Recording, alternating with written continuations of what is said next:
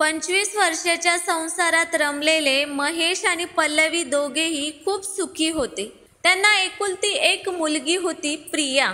महेश आणि पल्लवीचं नातं म्हणजे समाजासाठी एक आदर्शच होतं.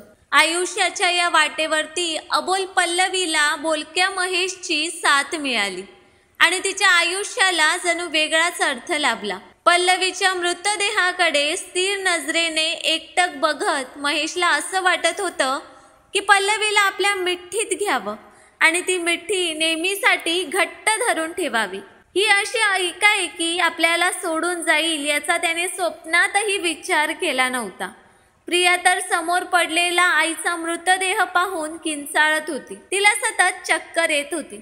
महेशचेही अश्रू थांबत नव्हते. महेशचा जीवलग मित्र दीपक त्याला सात्वन देण्याचा प्रयत्न करत होता. दीपकचेही डोळे पाणावले होते. कारण नियतीने तसा घातच केला होता. महेशचं मन हे मानायला तयारच नव्हतं की हे सगळं प्रत्यक्षात घडलं आहे.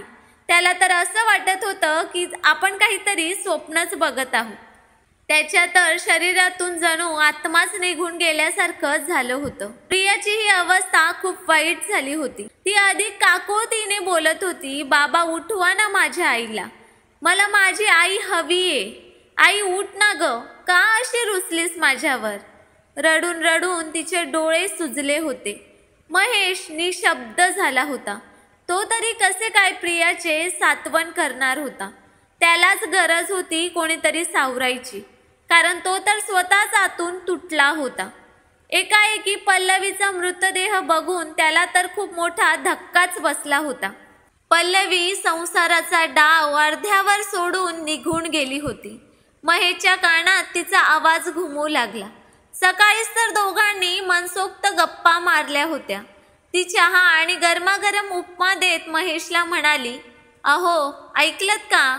मला मोरपंखी कलरची पैठणी हवी आहे. माझ्याकडे एकही पैठणी साडी नाही.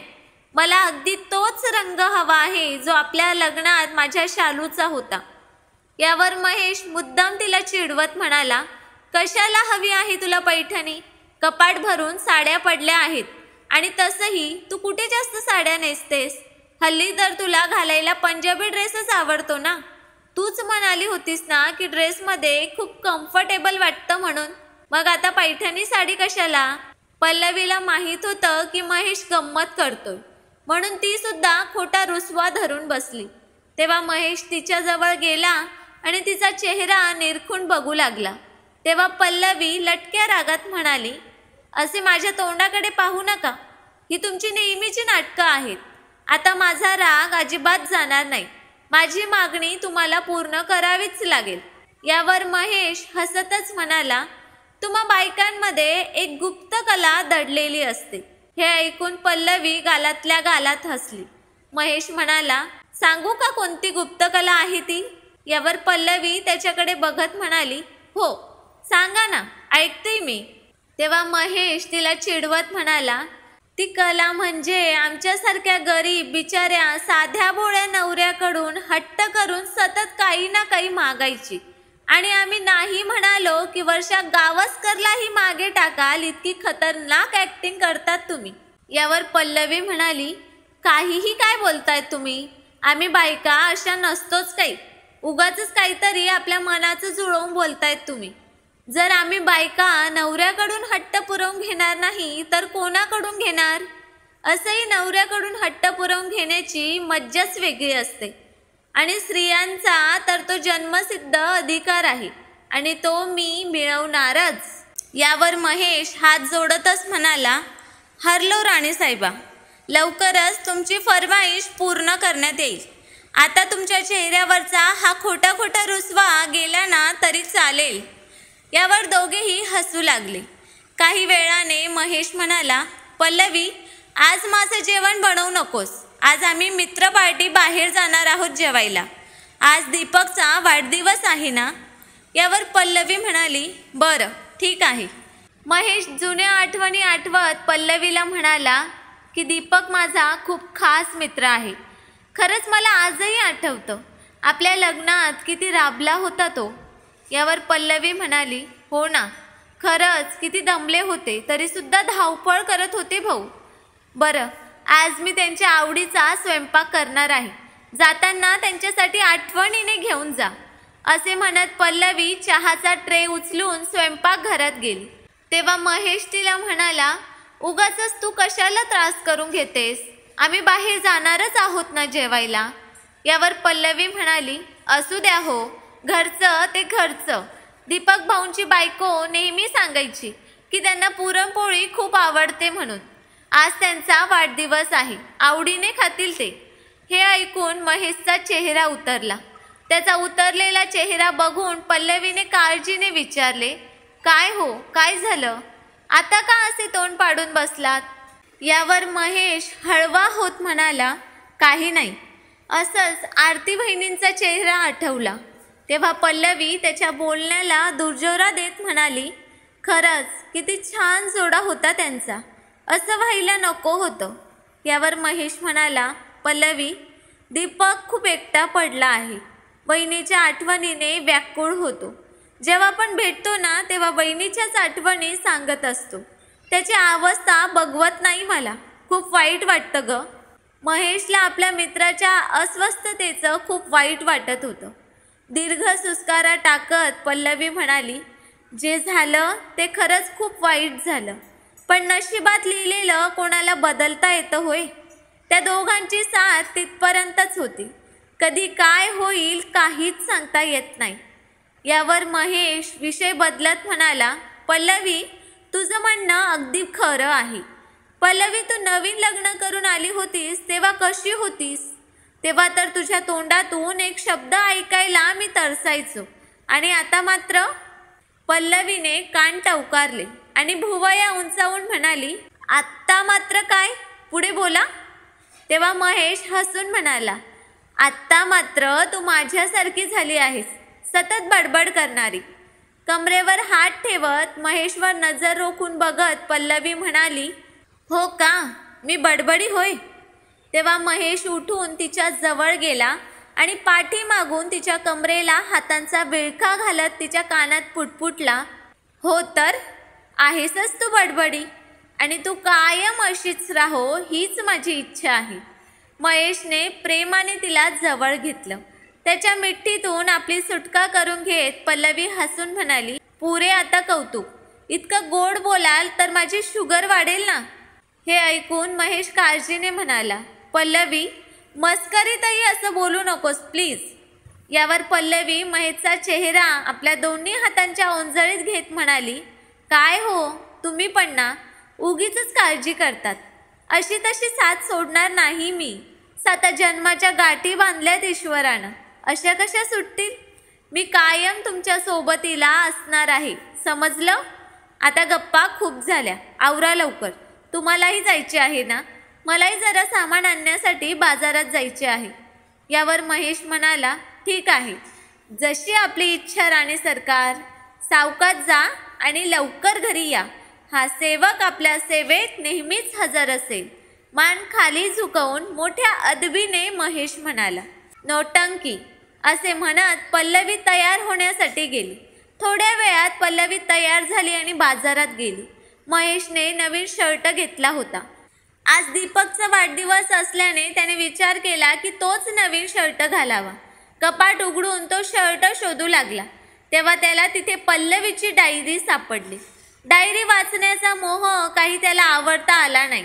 त्याला माहीत होतं असं दुसऱ्याची डायरी वाचणं चुकीचं आहे. पण त्यात नक्की काय लिहिले आहे हे वाचल्याशिवाय त्याला काही चैन पडणार नव्हते. महेशने ती डायरी उघडून वाचायला सुरुवात केली. प्रिय आई तू अशी आम्हाला सोडून गेलीस आणि तुझ्या पाठोपाठ माहेरपणाची ओढही संपली. मनातल्या आधी सर्व काही तुला सांगायचे. ज्या दिवशी तू गेलीस तेव्हा हे माझ्याकडे आले आणि माझा हात अलगद हातात घेऊन म्हणाले पल्लवी मला माहीत आहे तुझ्या आईची जागा तर मी घेऊ शकत नाही. पण जशी आई तुला समजून घ्यायची तसे मी नेहमी तुला समजून घेण्याचा प्रयत्न नक्की करेन.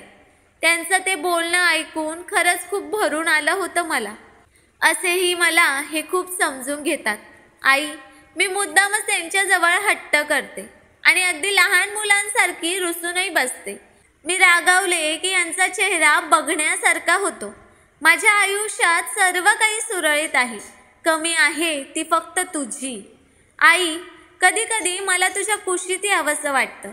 खरं तर तू जावई सोन्यासारखा शोधून दिला आहेस.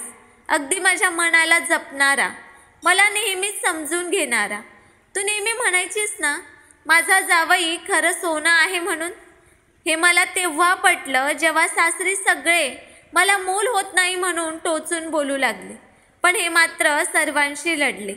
कमतरता माझ्यात असताना सुद्धा सर्वांना सांगून मोकळे झाले की कमी पल्लवीमध्ये नाही तर कमी माझ्यात आहे. तेव्हा कुठे सर्वजण गप्प बसले? लग्नाच्या पंधरा वर्षानंतर मी आई झाले. काय सांगू तुला आई? मुलगी झाली म्हणून मी आणि हे किती खुश झालो होतो. पण लग्नाच्या पंधरा वर्षानंतर बाळ झालं आणि तीही मुलगी झाली म्हणून घरच्यांनी तोंड पाडलं होतं. तेव्हा देखील यांनी सर्वांना चोख उत्तर दिलं. लक्ष्मीच्या पावलांनी प्रिया घरात आली. काय सांगू तिचं किती जोरदार स्वागत केलं होतं. खूप खुश झाले होते ते. आई बाबा किती कडक होते ग.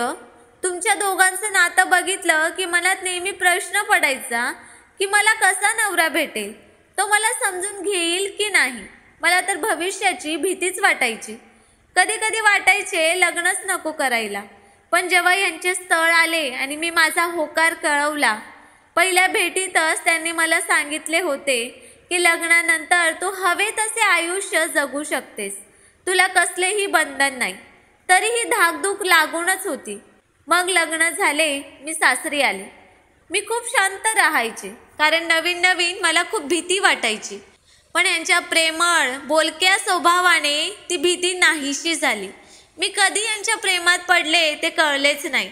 नवरा कमी आणि मित्र जास्त वाटावे असेच आहे ते नशीबवान आहे मी. इतका प्रेम करणारा नवरा मला मिळाला. आत्ताच मी यांना पैठणी मागितली. मला हवी तशी पैठणी ते नक्कीच घेऊन देतील याची मला खात्री आहे. आजवर ज्या इच्छा मी त्यांना सांगितल्या त्या त्यांनी नेहमीच पूर्ण केल्या. आजही आठवते मला. प्रियाचा पहिला वाढदिवस होता. तेव्हा माझी इच्छा होती की प्रियाचा वाढदिवस मोठ्या थाटामाटात करावा. पण तेव्हा यांच्याकडे पैसे नव्हते. हे मलाही माहीत होते म्हणून मी काहीच बोलले नाही. पण माझ्या डोळ्यात त्यांनी वाचले आणि प्रियाच्या वाढदिवसासाठी त्यांनी स्वतःची सोन्याची अंगठी मोडली. तेव्हा ते म्हणाले होते की माझी लेकच माझ्यासाठी माझं सोनं आहे. तीच माझी लक्ष्मी आहे. त्यानंतर महिनाभरातच त्यांना मोठ्या पगाराची नोकरी लागली. तेव्हा मोठ्या कौतुकाने हे म्हणाले होते हे सर्व माझ्या प्रियामुळे. किती खुश झाले होते हे. तिला डोक्यावर घेऊन किती नाचले होते. खरं सांगू आई माझी प्रिया ही खूप नशीबवान आहे कारण इतके प्रेम करणारे वडील तिला मिळाले. एक चांगला नवरा आणि एक चांगला पिता काय असतो ते ह्यांच्याकडे बघून समजते. आई मी माझ्या बाबांच्या डोळ्यात नेहमी बघितले आहे की मी मुलगी म्हणून नेहमीच त्यांना ओझे वाटत राहिले. त्यांनी मला प्रेमाने कधीच जवळ घेतले नाही. कधीच प्रेमाने दोन शब्दही बोलले नाहीत. वडील म्हणजे नेहमीच भीती असेच मला वाटत राहिले. प्रिया आणि तिच्या बाबांचे नाते जेव्हा मी बघते ना तेव्हा मला जाणीव होते की मी खूप काही गमावले आहे. खरं तर तो माझ्या नशिबाचा भाग म्हणून मी केव्हाच सोडून दिलाय. पण आज माहीत नाही का? पण आई आज माझा भूतकाळ मला आठवतोय ग. मला खूप रडावेसे वाटते. लग्नानंतर पहिल्यांदा इतकी भाऊक झाले मी. मनाची खूप घालमेल होते बघ. असं वाटतंय की आत्ताच्या आत्ता बाहेर जाऊन त्यांना घट्ट बिलगावे आणि मनसोक्त रडून घ्यावे. आई ते असे आहेत की मला रडूही देणार नाही. मला खुश कसे ठेवायचे हेच त्यांना जमते. म्हणून आज तुला लिहून संदेश पाठवते आहे. कधी कधी रडले की खूप बरं वाटते. मनातल्या भावनांचा निचरा होतो. आई मी लहान असताना मी कधी रडले की तू कशी लगबगीने यायची ग? माझे अश्रू पुसायला. किती बरे वाटायचे मला. आजही असेच वाटते की तू कुठून तरी येशील आणि मला मिठ्ठीत घेशील माझे सातवण करशील. महेश वाचता वाचता थांबला. त्याचेही डोळे भरून आले होते. म्हणजे पल्लवीने आत्ताच हे सर्व लिहिले होते. कधी बरं लिहिलं असावं? कदाचित खोलीत तयारी करायला आली असेल तेव्हा लिहिले असावे. असे तो स्वतःशीच बडबडला. त्याने डायरीचे पान पलटले. तो पुढे काही वाचणार तोच दारावरची बेल वाजली. त्याने पटकन डायरी ठेवली आणि दार उघडले. तर पल्लवी आली होती. पल्लवी घाम पुसतच म्हणाली बाप रे बाजारात किती गर्दी होती. माझा जीव घुसमटला. यावर महेश म्हणाला तू बस मी पाणी आणतो. असं म्हणत महेश पाणी आणण्यासाठी किचनमध्ये गेला. तेवढ्यात पुन्हा दारावरची बेल वाजली. तेव्हा महेश किचनमधून पाणी घेऊन बाहेर येत असताना म्हणाला पल्लवी तू बस. मी बघतो कोण आहे ते. यावर पल्लवी काहीच बोलली नाही. महेश किचनमधून बाहेर आला. तेव्हा बघतो तर पल्लवी तिथे नव्हती. तो स्वतःशीच पुटपुटला कुठे गेली ही? आत्ता इथेच तर होती. त्याने दार उघडले तर समोर दीपक उभा होता. त्याला दारात बघून महेश आश्चर्याने म्हणाला अरे तू घरी? आपलं तर हॉटेलमध्ये भेटायचं ठरलं होतं ना. दीपकचा चेहरा दुःखाने काळवंडला होता. त्याने महेशच्या खांद्यावर हात ठेवला आणि त्याला धीर देत म्हणाला महेश वाईट बातमी आहे. वहिनीचा अपघात झाला आहे आणि आता त्या या जगात राहिल्या नाहीत. हे ऐकून महेश दीपकवर चिडून म्हणाला गप्पा बस दीपक तू काहीही काय बोलतोयस ती आत्ताच तर आली आहे हे बघ सोप्यावर बसली आहे थांब तिला मी बोलावतो. तुझा नक्कीच काहीतरी गैरसमज झालाय. पल्लवी पल्लवी. आवाज देत महेश तिला घरभर शोधू लागला. पण पल्लवी कुठेच नव्हती. दीपकने सांगितलेली बातमी खरी होती. पल्लवी हे जग सोडून गेली होती. महेशला खूप मोठा धक्का बसला होता. तो बेशुद्ध झाला. सगळे पल्लवीच्या पार्थिवाजवळ रडत होते. थोड्या वेळाने महेश शुद्धीवर आला. बघतो तर सर्व माणसांनी घर भरले होते. प्रिया आईच्या मृतदेहाला घट्ट बिलगून रडत होती.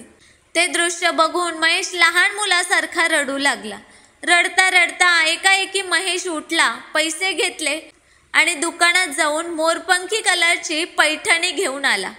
तिचा प्रत्येक हट्ट पूर्ण करणारा हा नवरा दुःखात असताना देखील बायकोची इच्छा पूर्ण करायला विसरला नव्हता. पल्लवीला सुंदर सजवल्या गेलं. अगदी नवीन नवरीसारखी दिसत होती ती. तिच्या चेहऱ्यावर एक वेगळे समाधान दिसत होते. महेशला पल्लवी त्याच्या पाठीमागेच उभी आहे असा भास झाला. त्याने मागे वळून बघितले पण एक वेगळी शांतता होती. भरल्या डोळ्याने सर्वांनी पल्लवीला शेवटचा निरोप दिला. सगळे पाहुणे निघून गेले. दीपक थांबला होता. महेश मुलीचे अश्रू पुसण्याचा प्रयत्न करत होता. त्याच्या तर शरीरातूनच आत्मा निघून गेल्यासारखं झालं होतं. प्रिया त्याच्या मांडीवर डोकं ठेवून झोपून गेली होती पण त्याला काही झोप येत नव्हती. पल्लवीच्या फोटोकडे बघून त्याला अजून तुटून गेल्यासारखं होत होते. त्याला आठवले की सकाळी डायरी वाचायची राहून गेली आहे. तो लगबगीने उठला आणि त्याने कपाटातून ती डायरी काढली. तो आधाशासारखा ती डायरी वाचू लागला. पल्लवीने पुढे लिहिले होते की आई हे मात्र मला नेहमीच खुश ठेवतात. तू जशी प्रेम करायचीस तसेच हे पण माझ्यावर प्रेम करतात. हे नेहमी म्हणतात तुम्हा बायकांना समजणे म्हणजे खूप कठीण आहे. पण एक सांगू आई की जितकं हे मला समजून घेतात तितकं कोणीही समजून घेत नाही.